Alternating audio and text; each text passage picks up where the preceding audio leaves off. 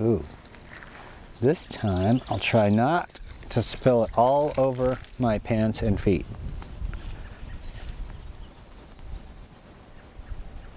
There. Yeah, I hear you, you little bug eaters.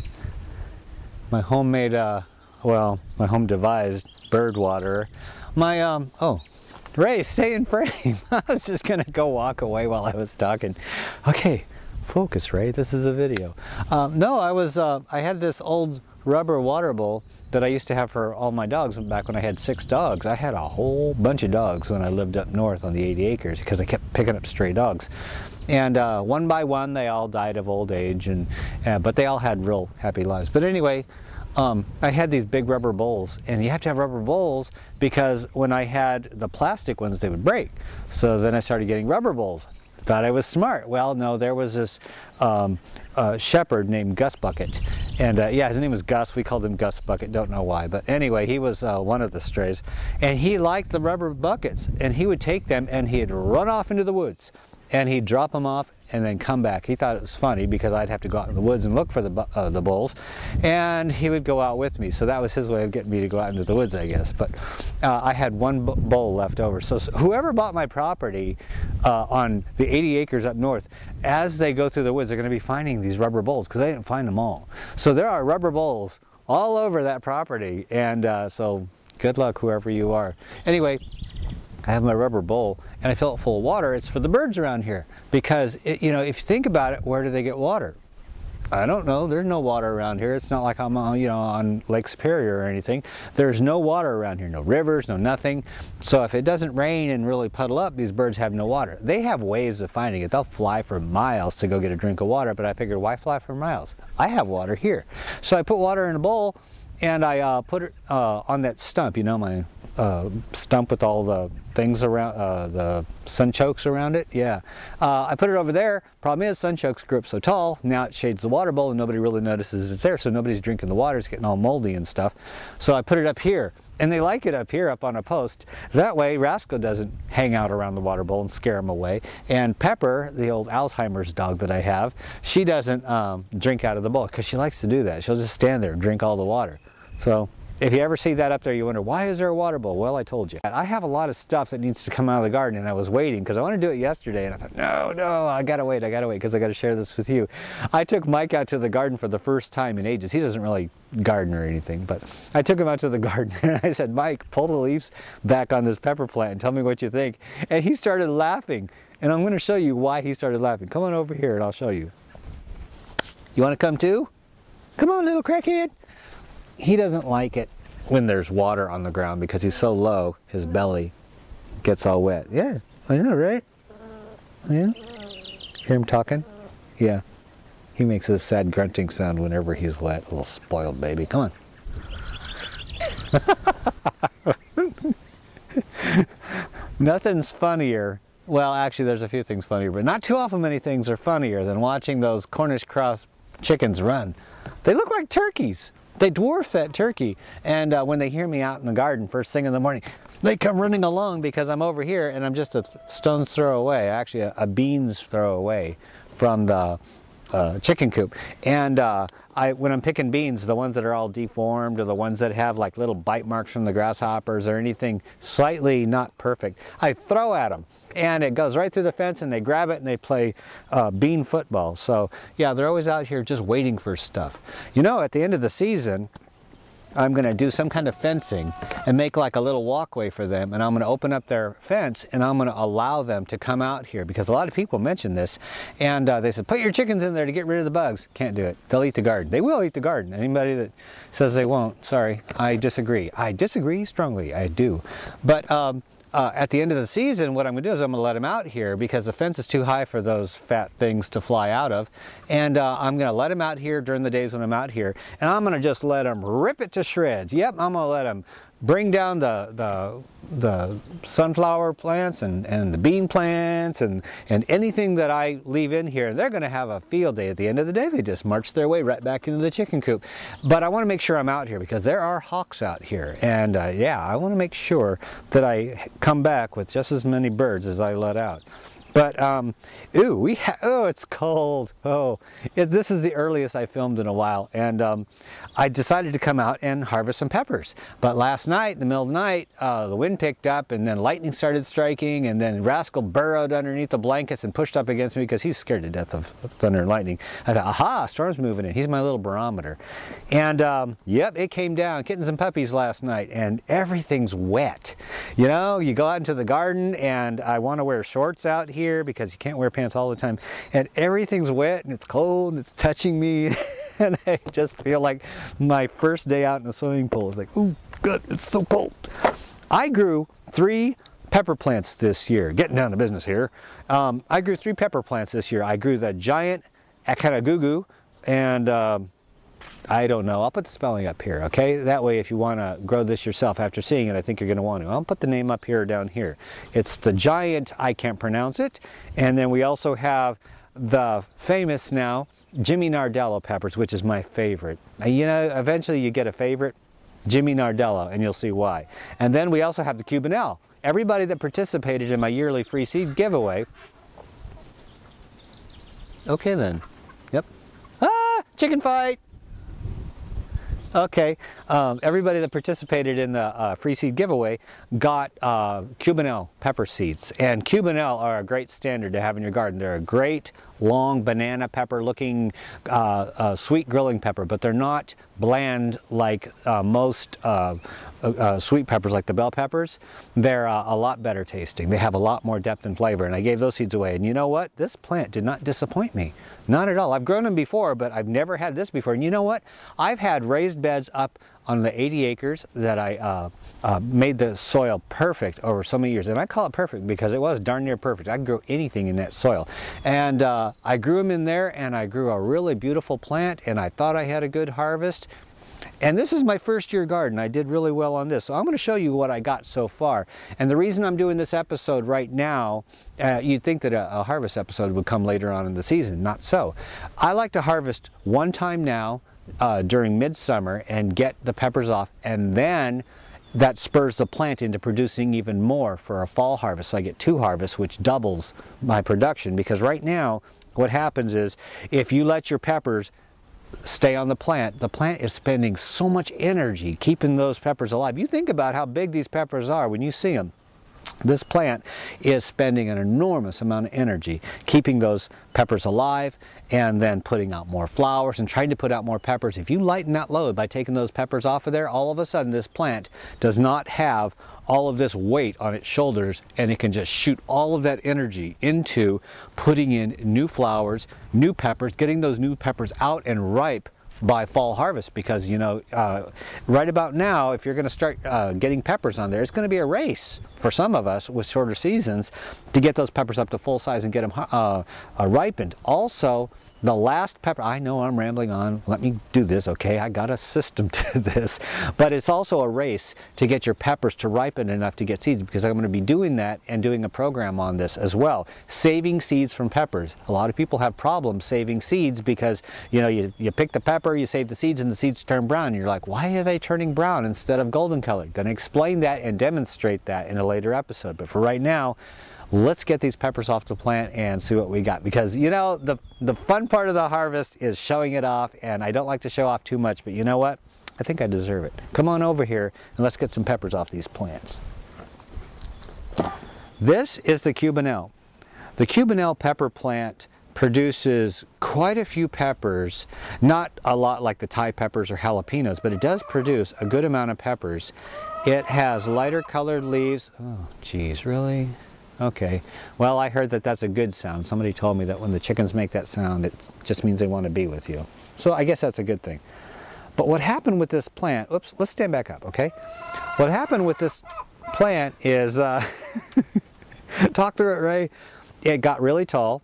It's uh, between knee high and waist high. And it got really tall and then it fell over. Yeah, here I am uh, telling people how to prune pepper plants for strength and stuff. But you know what? The reason it fell over is this. Let me lift it up. I'm going to use one hand to hold the camera. It got a whole bunch of peppers on one stem and it got really heavy and it fell over. Yeah, these are Cubanelles by the way. Yep, kind of lost in the leaves. And if you're getting um, white blotches on your peppers, uh, generally, you know, they get white and they get soft. Generally, that's from uh, sun scald. So uh, you want to make sure you don't go pruning off a whole bunch of leaves and stuff. Peppers love to be shaded a little bit. But we got some peppers in here. Move this around. You got peppers up here. It's like this tropical rainforest of peppers. It goes on and on. And then, oh no, no, we're not done. And then over here, this part of the plant fell over this way. Get my arm out of the way, sorry about that. Yeah, we have more peppers over here. But, um, hey, you heard that too. That's the first time. I have a rooster. Uh, well, you know, once it starts, it isn't going to stop, so get used to it, folks. But the thing is, is that uh, I'm not trying to show off the amount of peppers. I'm trying to show you the amount of peppers because it has a lot of them growing on there. But up here, we also have flowers. Yes, and way up towards the top, we have even more. And they're trying to put out peppers. Yeah, this plant hasn't stopped from the heat of the summer. And uh, this is one plant. This plant is one huge, freakishly wide, huge producing plant. I planted it really deep. So it has a really deep root system so it doesn't really succumb to the dryness of the soil. I don't have to water it every day and it's very sturdy. It was pruned back. It's a very good producing plant but we got to get those peppers off of there. This is the Jimmy Nardello. It's about three feet away from uh, the Cubanelle and uh, it has a dark green leaf, very different from the Cubanelle. Same size leaves and everything, but a nice dark green. And dark green is my favorite color, so I kind of have a preference for this one in the way of looks. Now this one is doing the exact same thing. You can see that it's putting out flowers at the top, and uh, I'm not going to go through the whole plant, but I will show you. If you go nice and close, you'll see everywhere there are new peppers coming out uncounted amount of peppers. And this is one plant as well. All of these are just one single plant with multiple branches. And uh, I got to get the peppers off of this because even though this is sturdy, and by the way, this one is just as tall as a Cubanelle. And I've never had a Jimmy Nardello get this tall. For me, they've always been shorter plants, and I don't know why.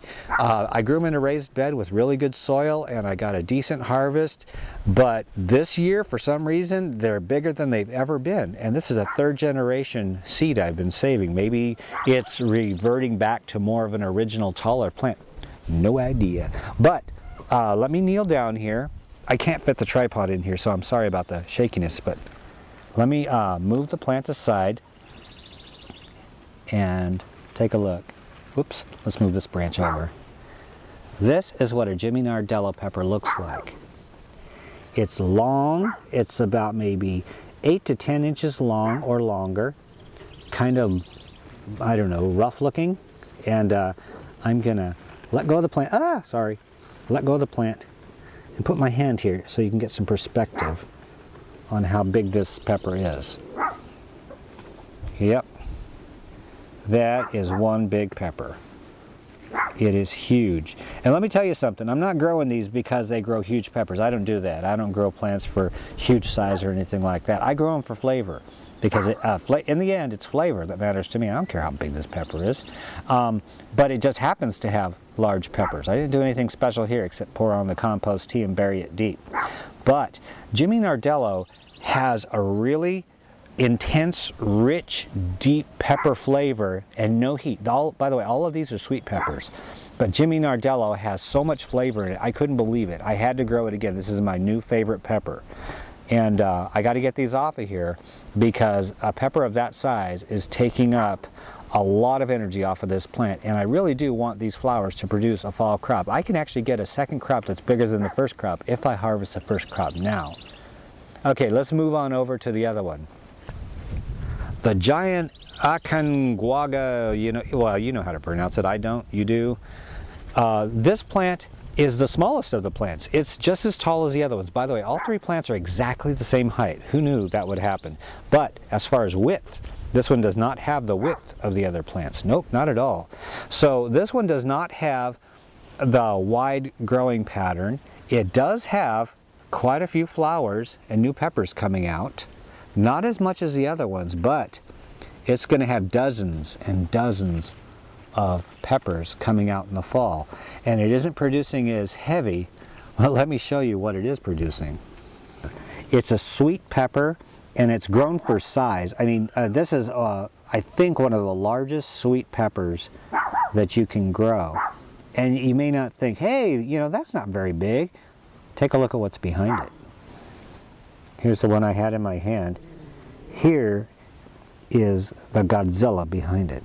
Holy Moses. Not so much the length, but the thickness of this pepper. Let's get right on in there. This thing, I cannot get my fingers all the way around this pepper. It is as fat as a beer can. Oh yeah, and there's more. Let's swing on over. There's more behind it.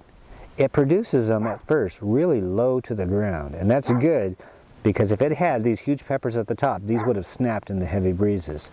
So this is a very, very good producer. I'm very happy with what this is doing.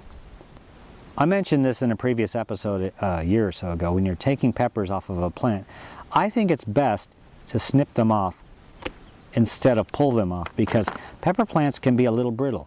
And if you're yanking these plant, uh, peppers off, and especially if they're the large ones like this, and they have big, honking, huge uh, stems. No, here's the thickness on this.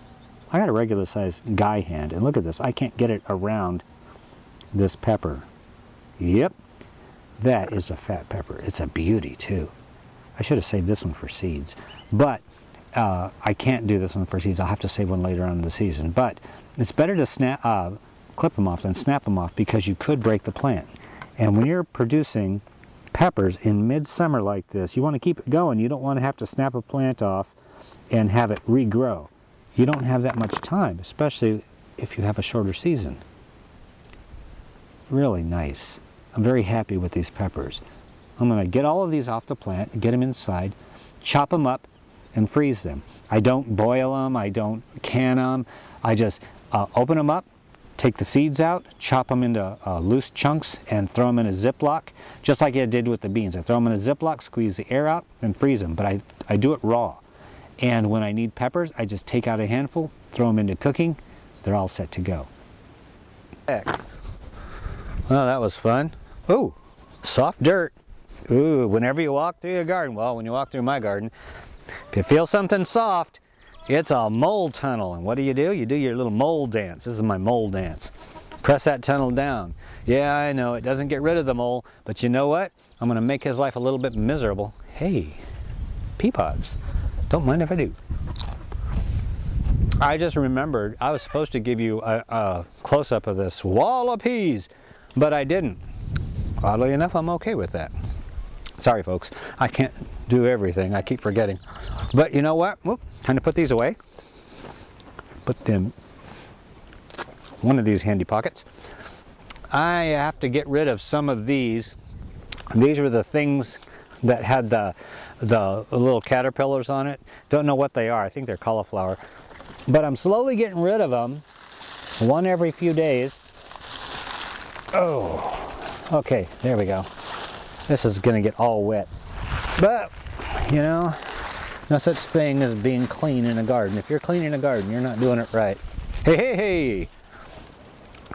This is what I do for my birds um, because, you know, that's what I do. Um, I, am not getting anything out of this, but you know what? I'm getting massive entertainment and uh, birds are getting massive nutrition. So it's a, a, really good investment for me. I like it. And uh, you know, I could have enjoyed a few heads of cauliflower or I could enjoy weeks worth of entertainment. So I think I'm getting my money's worth out of this. I throw this into the coop, and originally I threw it in there because, you know, the caterpillars that were eating it all up.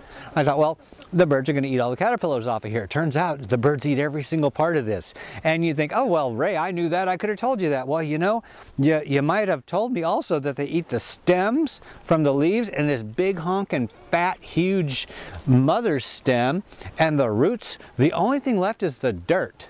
Wow, it is amazing how much they love cole crops. Son of a gun, who knew? I did not know that. You know, there's a lot of things I don't know. I could surprise you with the things I don't know. Aha, sneaking in the coop. Oh no, I'm not sneaking in the coop. Darn it. They're getting smart. They know when I'm coming into the coop. Ha! Hey, you little fatty, how you doing? Look what I got. Yeah, let me out. Come on. Get out of my way. I got a treat. Yeah, I don't know why I keep ducking when I come in here. This thing's taller than I am. Hey everybody, look. It's your daily nutrients. Yeah, fresh from the garden. Okay, what do you think? Oh heck yeah. That's some good stuff, isn't it? Sure is. Come on, get yourselves over here and entertain 70,000 people. That's pretty good, huh? Can I touch you while you eat? Get your hands off me. Get your hands off me. You're huge. Wow, they're warm too. Ah, of course they're warm, Ray. They're like, ah, that's a good finger, huh? That's really good. My gosh, look at him go. You know, I never get tired of watching this. It's a wonderful thing. They come together as a flock, they eat, they eat the bugs, they eat the greens. It's exercise, it's nutrition, it's getting rid of garden waste, it's recycling, it's everything that I want on my for my chickens, you know? I love this.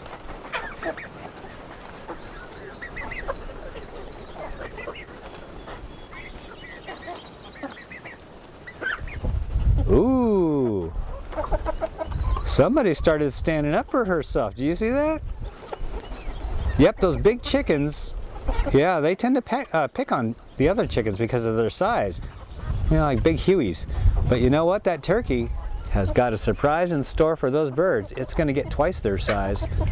And eventually it's going to start standing up for itself. You, you, you know, those of you who have grown turkeys, you know what they can do.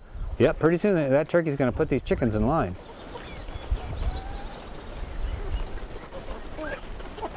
Hey, smell. No? Yeah, you. He keeps an eye on her. She gets too close and his lips go up. He goes, eh. Because he thinks she's trying to hurt me. Whenever she's pecking at my fingers and, and uh, getting food out of it, he thinks she's hurting me. And see, he gets a little protective. And uh, he doesn't hurt him though. Whenever he snaps at him, he always makes sure he snaps in front of their face. He doesn't bite them when they do that. He knows better. But, um, hey, do you guys like peppers? No, you don't like peppers. Oh, well, good. More for me. Go eat your cabbage. Or whatever that stuff is. But um, thanks for joining me on this episode. I really do appreciate having you here. Um, I got a good harvest. As far as I'm concerned, it's a smashing success, 100 million times better than I thought I would ever have.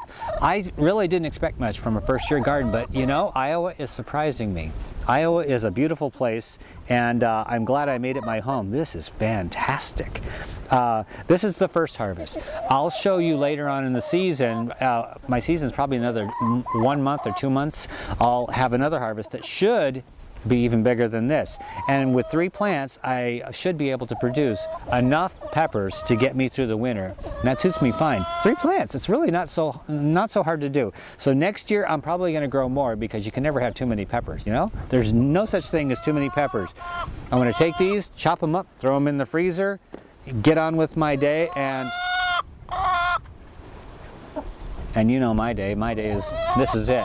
Hey, wanna bite my finger again? I'll let you. Yeah. Here we go. How about some flower? Yeah, you like flowers. Okay, I'm gonna get going, but thank you for joining me for this pepper harvest. I hope you learned a little something, and I hope you had a good time. I, I sure had a great time. All right, I'll talk to you guys soon. Have a great day. Bye. All right, since you don't want any of these, more for me.